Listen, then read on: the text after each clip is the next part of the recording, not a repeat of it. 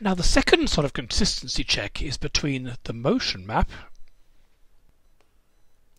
and the graphs of position, velocity and acceleration.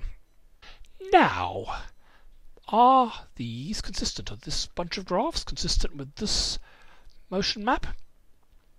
Well, first thing to do is to be clear in which direction we're considering our position, velocity and acceleration.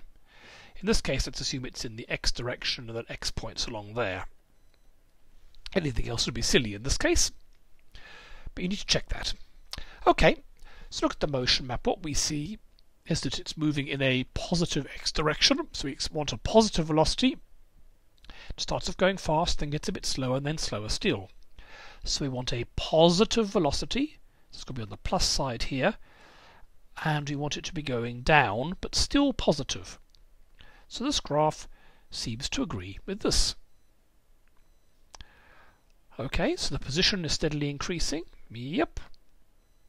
As the velocity is getting less, the acceleration will be negative. Yes. So this all seems to fit.